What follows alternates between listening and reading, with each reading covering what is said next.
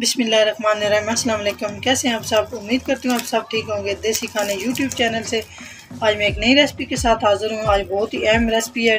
Tips के साथ आपको बताऊँगी कि ये किस तरह बनती है। आज आप बनाएँगे चिकन वेजिटेबल पॉकेट समोसे ये देखिए, कितने ज़बरदस्त बने हैं। अफ्तारी में ज़रूर बनाइएगा। तो चलो वीडियो बनाना शुरू करते हैं।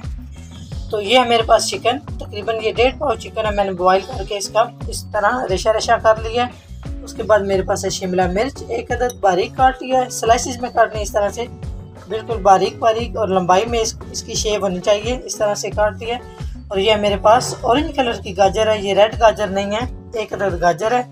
इसको मैंने कद्दूकश कर लिया है। ये देख उसके बाद मेरे पास है एक फूल गोभी का बंद गोभी इस तरह से। स्लाइसिस में मैंने बारीक बारीक काट लिया है। तकरीबन ये भी एक पाव बनती है। तो ये सारी सब्जियों को हम थोड़ा सा फ्राई कर लेंगे। यहाँ पे मैंने एक खूबसूरत सी और बहुत ही साफ़ सुथरी सी मैंने कढ़ाई ले लिया है। इसमें जाएगा बिस्मिल्लाहिर्रहमानिर्रहीम। दो खाने के चम्मच कुकिंग ऑयल स्टफिंग के लिए। तो थोड़ा सा कुकिंग ऑयल गर्म हो ले उसके बाद हम इसमें सब्ज़ियाँ ऐड करेंगे। जी तो सबसे पहले गाजर बिस्मिल्लाहिर्रहमानिर्रहीम में शामिल कर देंगे और बर्तन को अच्छे से साफ़ कर लेंगे ताकि रिस्क ज़ाया ना हो। यहाँ पे हम इसको इस तरह से फ्राई करेंगे।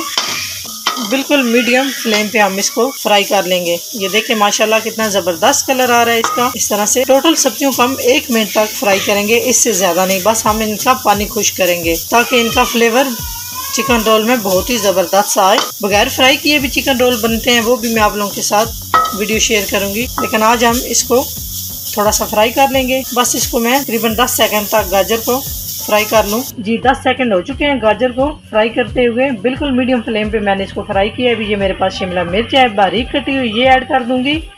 और बस थोड़ा सा हम इस फ्राई कर लेंगे। इसका थोड़ा सा जो पानी होता है, कच्चा पान होता है, वो हम इसका थोड़ा सा दूर कर लेंगे। बहुत ज़्यादा हम इसको फ्राई नहीं करेंगे।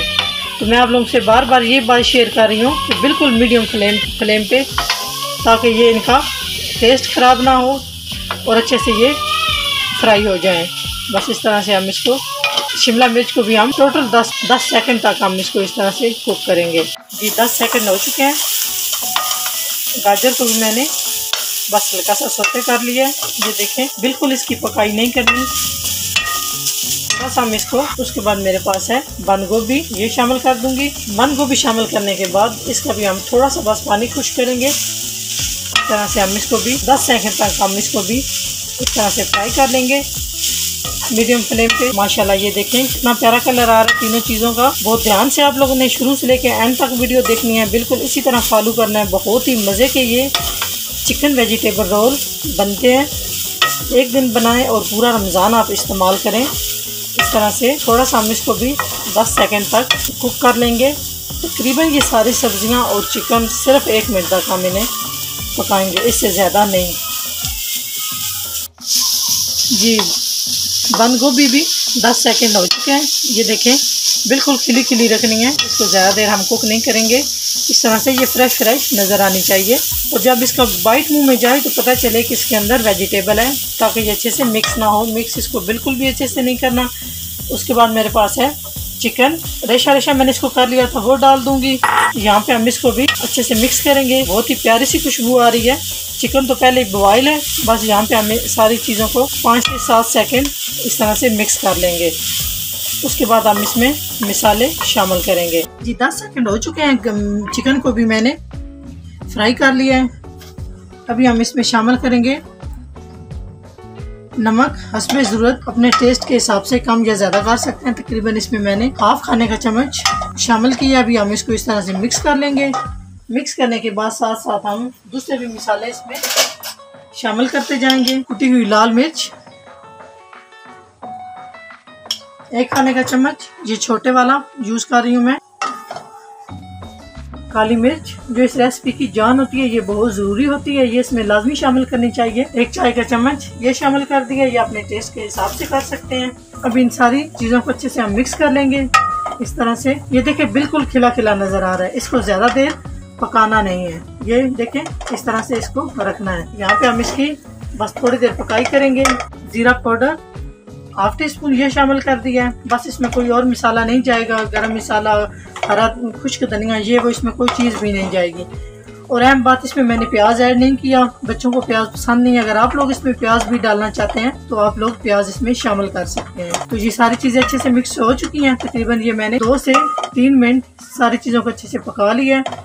अभी हम चूल्हा बंद करते हैं और इस स्टफिंग को ठंडा कर लेते हैं। जी, मिसाला नीचे उतारने के बाद ये है, मेरे पास सिरका। एक खाने का चम्मच इसमें शामिल कर दूँगी। अगर आपके पास है तो ठीक है, नहीं है तो कोई ज़रूरी नहीं है। अगर घर घर में मौजूद है तो आप डाल सकते हैं। ये है, मेरे पास सोया सॉस, तकरीबन एक खाने का चम्मच ये भी शामिल कर दूँगी। इन दोनों चीज़ों से बहुत ही अच्छा सा टेस्ट आएगा और बहुत ज़बरदस्त फ्लेवर होगा। अगर है तो आप लोग ज़रूर डालें, नहीं है तो वैसे भी ये काम चल सकते इसको कम अज़ कम हम पंद्रह से बीस दिन के लिए स्टफिंग को हम फ्रीज कर सकते हैं और हम इसको यूज़ कर सकते हैं। तो यूज़ किस तरह हमने करना है? हम रोल भी बना सकते हैं इससे हम समोसियाँ भी छोटी सी बना सकते हैं और बड़े समोसे भी हम बना सकते हैं इससे। पॉकेट समोसा पॉकेट समोसे बनाने के लिए मेरे पास है चिकन वेजिटेबल ये सारी चीज़ें मैंने फ्राई करके रखी हैं। उसके लिए मेरे पास है पट्टी। इस तरह से चलिए शुरू करते हैं पॉकेट समोसा बनाना। बहुत ही ईजी है कि बिस्मिल्लाह रखवाने में यहाँ पे मैंने एक पट्टी ले ली है। इसमें थोड़ा सा चिकन वेजिटेबल इस तरह से कम या ज़्यादा आप कर सकते हैं। तकरीबन ये मैंने एक चम्मच के हिसाब से इसमें शामिल किया इस तरह से। शामिल करने के बाद मेरे पास है ये मैदे की लई। हाथ से हम इस तरह से लगाएँगे। चारों साइड से हम इसको इस तरह से लगा ले ताकि कहीं से भी रोल पट्टी हमारी खुले नहीं। पॉकेट समोसा बनाना है हमने। इस तरह से सारा मैंने लगा लिया लई। अभी हमने क्या करना है? इस तरह से बिस्मिल्लाहिर्रहमानिर्रहीम। इस तरह से हमने इसको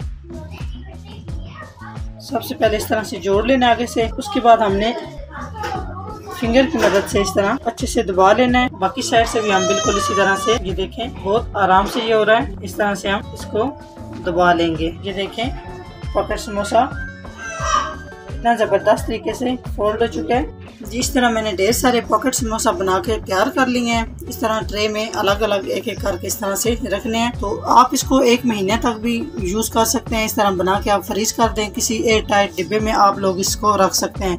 तो साथ ये मैंने रोल की भी रेसिपी दी हुई ये थोड़े से मैंने रोल भी बना के रखे हैं। ये भी आप इस तरह इसको फ्रीज कर सकते हैं। तो एक महीना आराम से आप चला सकते हैं। तो अभी हम थोड़ी देर के लिए इसको फ्रिज में रखेंगे। ऑयल हमारा गर्म हो चुका है। अभी मेरे पास है पॉकेट समोसा भी इसमें। इस तरह से आराम से डाल देंगे और थोड़ी देर तक हम इसे बिल्कुल भी नहीं हिलाएँगे। इस तरह से तकरीबन तो 30 सेकंड तक मैंने इसको बिल्कुल भी नहीं छेड़ा। इस तरह से एक साइड से ये देखे 30 सेकंड में कितना ज़बरदस्त फ्राई हो चुका है।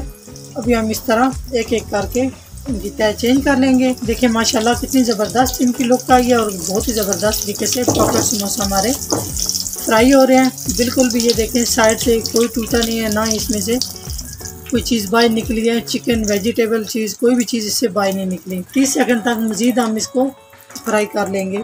टोटल मैंने सिर्फ़ इन्हें एक मिनट तीस सेकंड एक साइड पे, तीस सेकंड एक साइड पे मैंने इन्हें फ्राई कर लिए। और बहुत अच्छे तरीके से ये फ्राई हो चुके हैं। मीडियम फ्लेम पे हमने इसे इन्हें फ्राई किया है। ज़्यादा हाई फ्लेम नहीं करनी ताकि ये जल ना जाए। ये देखें, कितने ज़बरदस्त फूले फूले से ये देखें, तैयार हुए हैं। सेम इसी तरह बाकी सारे भी हम फ्राई कर लेंगे। अगर हमारी वीडियो अच्छी लगे तो लाइक एंड शेयर कीजिएगा। हमारे चैनल को सब्सक्राइब करें और बेल आइकन वाला बटन लाजमी दबाएँ, ताकि हमारी नई आने वाली वीडियो आप सबसे पहले देख सकें। नेक्स्ट वीडियो में मिलेंगे। अल्लाह हाफिज़।